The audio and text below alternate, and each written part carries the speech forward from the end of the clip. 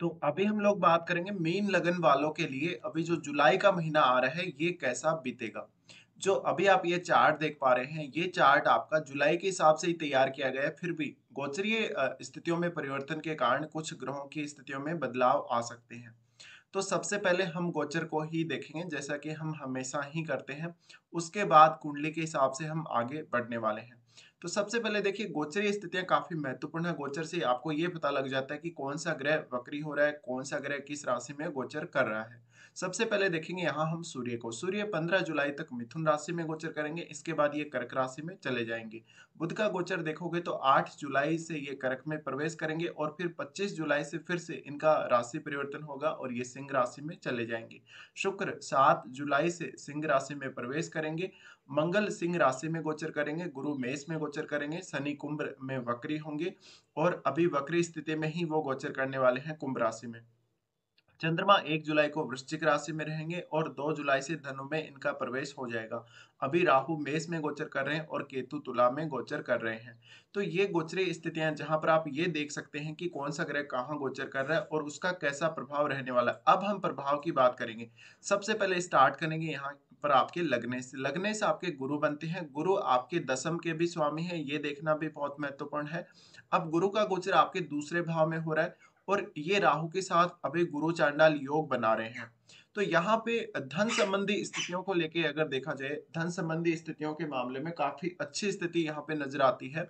आपको धन धान्य से काफ़ी ज़्यादा भरपूर करेंगे और आपकी खुद की मेहनत भी इसमें काफ़ी ज़्यादा काम आएगी। गुरु का दूसरे भाव में गुरु का दूसरे भाव में गोचर करना आपके करियर के लिए भी काफ़ी अच्छा रहेगा। देखा जाए तो इस स्थिति में आपको पैसे बढ़ सकते हैं, यानी धन की वृद्धि होगी प्रॉपर्टी की वृद्धि होगी। हालाँकि कुछ खान पान में इस प्रकार के बदलाव हो सकते हैं, जो कि आप हमेशा रूटीन में नहीं करते, लेकिन वो कभी कभी नज़र आ सकते हैं। गुरु के यहाँ राहु के साथ रहने की वजह से आपको थोड़ा सा यहाँ पे फैमिली के साथ संबंधों को लेके सावधानी रखनी चाहिए। इसके अलावा ज़्यादातर मामलों में ये राहु और गुरु आपको प्रॉपर्टी के मामलों में बहुत अच्छा सपोर्ट करेंगे। साथ ही आपके करियर और आपके वर्क प्लेस से संबंधित मामलों में भी बहुत अच्छा सपोर्ट करने वाले हैं। अब क्योंकि गुरु की जो दृष्टि पड़ रही है, सबसे पहले वो छठे घर को यहाँ से देख रहे हैं। छठे घर को देखने की वजह से आपके कार्य क्षेत्र में जितनी भी प्रकार की बाधाएँ आ रही हैं वहाँ पर इनका सपोर्ट आप लोगों को मिल रहा है। आपके वर्क प्लेस पे जो आपको समस्याएँ हैं, उनसे आप निजात पा सकते हैं। तो गुरु की पांचवी दृष्टि यहाँ पर रही है। गुरु की पांचवी और राहु की भी पांचवी की दृष्टि यहाँ पे आ रही है। तो इस दृष्टि की वजह से जितने प्रकार की आपकी समस्याएँ हैं वर्क प्लेस पे, उनको आप काफ़ी आसानी से हैंडल कर लेंगे। अब उसके बाद ये देख रहे हैं आपके अष्टम भाव को। अष्टम भाव को देखने की वजह से यहाँ देखिए केतु का भी गोचर हो रहा है। तो जो लोग अकल्ट में इंटरेस्टेड हैं, उनके लिए भी ये स्थिति काफ़ी अच्छी नज़र आती है। साथ में आपको अचानक से कहीं से धन की प्राप्ति होना या आपको कोई अकल्ट से जुड़े हुए कार्य से धन लाभ होना, इस प्रकार की स्थितियाँ नज़र आती हैं। अब ये जो स्थिति है, कहीं ना कहीं आपके कार्य क्षेत्र से जुड़ी हुई हो सकती है, क्योंकि गुरु आपके टेंथ लॉर्ड भी है। टेंथ लॉर्ड होने की वजह से आप अगर अष्टम भाव से जुड़े हुए कोई भी कार्य में अभी संलग्न है, चाहे आप रिसर्च कर रहे हैं, चाहे आप अकल्ट से जुड़ा हुआ कोई कार्य कर रहे हैं तो यहाँ पे आपको राहु और गुरु दोनों ही बहुत अच्छा सपोर्ट करेंगे। और उसके बाद ये अपने ही घर को देख रहे हैं। तो यहाँ पर प्रमोशन वगैरह होने के काफ़ी ज़्यादा तेज चांस बन रहे हैं आप लोगों के लिए। जिन लोगों को जॉब नहीं मिला है, उन लोगों को जॉब मिलने के काफ़ी ज़्यादा चांसेस हैं। साथ ही साथ अपना आप कुछ कर रहे हैं, मान लीजिए आप अपना कुछ बिज़नेस वगैरह स्टार्ट किए हुए हैं, या कोई आप किसी को खुद आप जॉब दिए हुए हैं कहीं पे तो उन मामलों में यहाँ पे आपको गुरु और राहु दोनों ही सपोर्ट करने वाले तो करियर के दृष्टिकोण से देखा जाए तो कुछ हद तक ये हम मान सकते हैं कि यहाँ पे करियर के मामले में स्थिति काफ़ी अच्छी ही रहेगी। लेकिन अगर आपके स्वास्थ्य के दृष्टिकोण से देखा जाए तो आपको कुछ समस्याएँ आ सकती हैं। जैसे कि आपका जो मन है काफ़ी ज़्यादा डिप्रेशन में चला जाए या आपका जो ऑब्सेशन है काफ़ी ज़्यादा बढ़ जाए साथ ही आपका वज़न बढ़ना और आपका जो शरीर का मोटापा है, वो बढ़ना, ऐसी स्थितियाँ सामने आ सकती हैं। अब हम यहाँ से आगे बढ़ेंगे और देखेंगे मंगल के गोचर को। मंगल सेकंड लॉर्ड है और नवम घर के स्वामी है। मंगल का गोचर छठे घर में होगा और यहाँ ये शुक्र के साथ रहने वाले देखिए, यहाँ पे सबसे पहले तो आपके ये सेकंड लॉर्ड है। सेकंड लॉर्ड होने से आपको आपके शत्रुओं से फ़ायदा होगा। आप कोशिश करें कि आपके वर्क प्लेस पे आपका किसी से विवाद ना हो, विशेषकर स्त्रियों से। अगर आपका स्त्रियों से विवाद हो जाता है तो शुक्र यहाँ मंगल के साथ ही रहने वाले हैं इस मंथ में तो आपकी बदनामी तक हो सकती है। और आपका लग्नेश भी क्योंकि राहु के साथ है तो आपको लोग कुछ हद तक बदनाम करने की कोशिश कर सकते हैं अपने वर्क प्लेस पे। और इस संबंध में विशेषकर पुरुषों के चार्ट में इस प्रकार की स्थितियाँ ज़्यादा डेवलप हो रही हैं। और शुक्र क्योंकि आपके लिए पत्नी के कारक है, ऐसे में आपको सावधानी हमेशा रखनी है जब भी आप अपने वर्क प्लेस पे काम कर रहे हैं तो किसी और की तरफ़ आपका अट्रैक्शन हो जाता है या कुछ और ऐसी कंडीशंस बन जाती हैं, जिस वजह से आप इंटरेक्ट करते हैं स्त्रियों के साथ। तो ऐसे में यहाँ पे थोड़ी सावधानी बरतना काफ़ी ज़्यादा ज़रूरी हो जाएगा। अब यहाँ जो शनि है, वो वक्री होके भी दृष्टि डाल रहे हैं इन दोनों के ऊपर।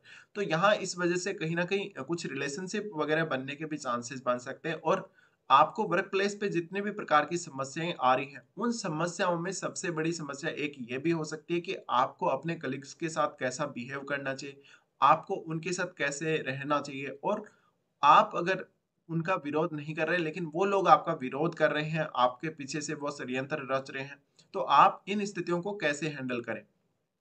अब मंगल यहाँ पर एक बहुत ज़्यादा एनर्जी लेके आ रहे हैं, एनर्जी लेके आ रहे हैं, साथ में ये वाणी स्थान के भी स्वामी वाणी स्थान के स्वामी होने की वजह से आपकी वाणी का प्रभाव आपके करियर पर सबसे ज़्यादा देखने को मिलेगा। तो आप कोशिश करें, अपनी वाणी पर कंट्रोल ज़रूर रखें और तुरंत प्रतिक्रिया बिल्कुल ना दें। इसके अलावा ये मंगल शुक्र के साथ रहेंगे तो आपको रिलेशनशिप में काफ़ी सारी प्रॉब्लम्स आ सकती हैं। रिलेशनशिप में बहुत बार आपको असंतुष्टि महसूस हो सकती है अपने जीवन साथी के साथ। हालाँकि हम आगे शुक्र के लिए बात कर ही रहे हैं तो शुक्र की भी चर्चा करेंगे, तब और बात आपको क्लियर हो जाएगी। अब मंगल यहाँ से जो कि मंगल गोचर करें क्योंकि छठे घर में तो यहाँ पे ये देखेंगे अपनी खुद की ही राशि को। अपनी खुद की राशि को जब ये देखेंगे तो आपके वर्क प्लेस पे कुछ ना कुछ चेंजेस हो सकते हैं, यानी आपका वर्क प्लेस बदल सकता है। आपको कहीं वर्क प्लेस को छोड़ के कहीं दूर जाना पड़ सकता है अपने काम के लिए। साथ में आपका भाग्य भी काफ़ी अच्छे से आप लोगों को साथ देगा। अब उसके बाद ये देख रहे हैं बारहवें भाव को और लगन को। बारहवें भाव को जब ये देख रहे हैं तो यहाँ शनि गोचर कर रहे हैं। कुछ हद तक आपको यहाँ क्योंकि वक्री होकर शनि गोचर कर रहे हैं तो ऐसे में बारहवें भाव से जुड़े हुए कार्यों के लिए भी आप अगर कोई भी प्रकार का प्रयास करते हैं तो आपका प्रयास व्यर्थ नहीं जाएगा।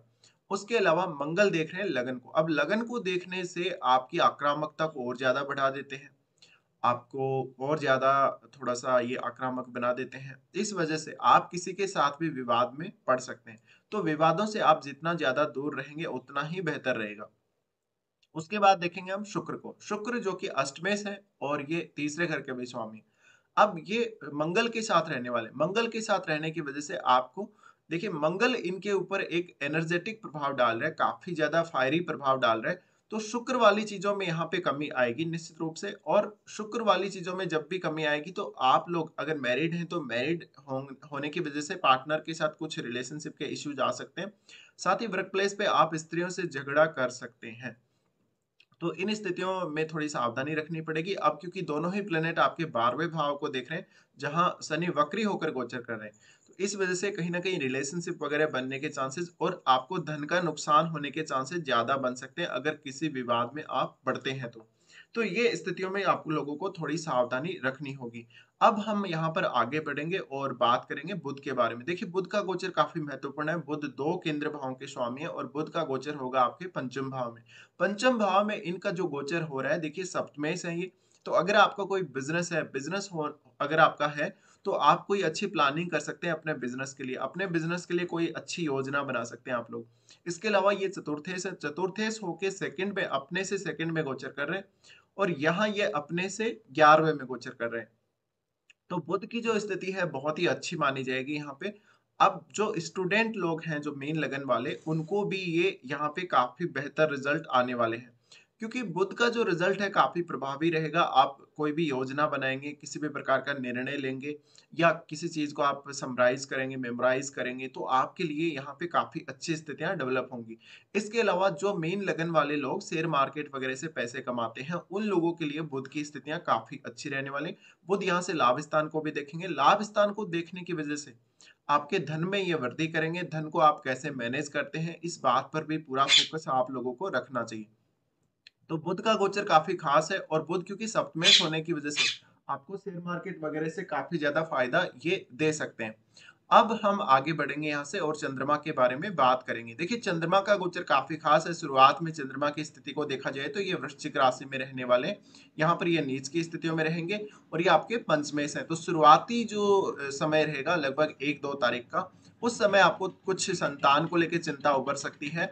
अगर आप कोई लंबे समय का डिसीज़न ले रहे हैं या कहीं दूर जाने का, कोई लंबी दूरी की यात्रा करने का डिसीज़न ले रहे हैं तो थोड़ी सावधानी आप ज़रूर बरतें। उसके बाद चंद्रमा आपके टेंथ हाउस में जाएँगे। टेंथ हाउस में जब ये जाएँगे तो आपको आपके जॉब में कोई क्रिएटिविटी से फ़ायदा होगा। आपको आपकी स्किल्स से फ़ायदा होगा। आपको आपकी जो एजुकेशन है, आपने जो कुछ सीखा है, उससे आपको लाभ दिलाने वाले हैं। तो बाद में इनका जो गोचर रहेगा दो तीन दिन के लिए, वो काफ़ी बेहतर रहेगा। लेकिन शुरुआत में थोड़ा सा आपको मानसिक रूप से ये चिंता दे सकते हैं। अब हम यहाँ से आगे बढ़ेंगे, बात करेंगे सूर्य के बारे में। सूर्य जो कि छठे घर के स्वामी बनते हैं आपके चार्ट में और सूर्य का गोचर काफ़ी ज़्यादा खास रहने वाला है। सूर्य चौथे घर में रहने वाले हैं मिथुन राशि में और इनकी ये स्थिति पंद्रह तारीख तक रहेगी यानी पंद्रह जुलाई तक। पंद्रह जुलाई तक की स्थितियों में आपको जॉब वगैरह मिलने के चांसेस प्रमोशन वगैरह मिलने के चांसेस आपके वर्क प्लेस में कुछ चेंजेस होने के चांसेस बनेंगे। इसके अलावा बॉस के साथ आपका व्यवहार काफ़ी अच्छा रहेगा लेकिन यहाँ पर कुछ स्थितियों में बॉस के साथ ईगो प्रॉब्लम्स आ सकती हैं। अब जो लोग प्रमोशन वगैरह का इंतज़ार कर रहे हैं जो लोग अपने सैलरी इंक्रीमेंट का इंतज़ार कर रहे हैं, उन लोगों को एक अच्छी खबर मिल सकती है। और जो लोग बिल्कुल फ्रेशर हैं, जो लोग बिल्कुल नई तैयारी करके अभी जॉब के लिए तलाश कर रहे हैं नए नए हैं, उन लोगों के लिए भी ये गोचर काफ़ी खास रहने वाला है। उसके बाद सूर्य जाएँगे आपके पंचम में। पंचम में जाने से ये पंद्रह तारीख के बाद ये स्थितियाँ होंगी। तो यहाँ पर आपको संतान वगैरह से जुड़ा हुआ सुख देंगे और संतान के साथ थोड़े बहुत मतभेद ज़रूर सामने आ सकते हैं। लेकिन ओवरऑल आपकी जो पंचम भाव से जुड़े हुए कार्य हैं, उनमें काफ़ी ज़्यादा तेज़ी आएगी। तो ये स्थिति स्टूडेंट्स के लिए भी काफ़ी अच्छी रहेगी और सूर्य यहाँ से आपके लाभ स्थान को देखेंगे। लाभ स्थान को देखने की वजह से आपको काफ़ी फ़ायदा करवाएँगे, आपका नेटवर्क बढ़ाएँगे, आपकी प्रतिष्ठा बढ़ाएँगे, आपकी क्रिएटिविटी बढ़ाएँगे तो काफ़ी सारा फ़ायदा आपको सूर्य देने वाले हैं। इसके बाद हम यहाँ से आगे बढ़ेंगे, अब बात करेंगे शनि के बारे में। शनि का गोचर काफ़ी खास रहने वाला है शनि क्योंकि वक्री चल रहे हैं। वक्री चलने से देखिए, जिन लोगों को भी विदेश से पैसा आ रहा हो, या जो लोग विदेश में रह के अर्निंग कर रहे हैं, उन लोगों को विशेष फ़ायदा होगा शनि के इस गोचर से। इसके अलावा क्योंकि ये आपके सेकेंड हाउस को देख रहे हैं तो सेकेंड हाउस को देखने की वजह से अभी कुछ आँखों से जुड़ी हुई समस्या है तो आपको थोड़ा सा यहाँ पे सावधानी रखनी पड़ेगी। और क्योंकि बारहवें भाव में तो ये गोचरी कर रहे हैं तो आपको आँखों से जुड़ी हुई समस्याओं के लिए विशेष सावधानी रखनी है। साथ ही साथ जो लोग फॉरेन सेटल होना चाहते हैं, वो भी अपना प्लान कर सकते हैं। क्योंकि अभी आपके लग्नेश का जो गोचर हो रहा है, राहु के साथ हो रहा है और शनि यहाँ पे आपके बारहवें भाव में, यानी बारहवें भाव में खुद की ही राशि में गोचर कर रहे हैं और वो भी वक्री होकर। तो आपका कोई भी फॉरेन सेटलमेंट से संबंधित कार्य है वीज़ा से जुड़ा हुआ आपका कोई कार्य है, वो आपका बनेगा। तो जितने भी कार्य आपके अटके हुए हैं या आपको फॉरेन से कोई पैसा आना था, वो अटका हुआ है, उन सभी कार्यों में यहाँ पे तेज़ी आती हुई दिखेगी।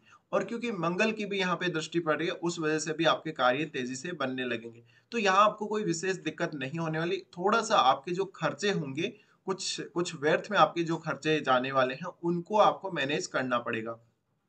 तो शनि का गोचर हम काफ़ी अच्छा यहाँ पे मानेंगे। अब हम बात करेंगे आगे बढ़ के कुछ अच्छे और खराब दिनों की। लेकिन उससे पहले मैं आपको बता दूँ, अगर आप राहु का मीन राशि वाले गोचर का वीडियो देखना चाहते हैं तो आप मेरे चैनल पर प्लेलिस्ट चेक करके वो वीडियो देख सकते हैं।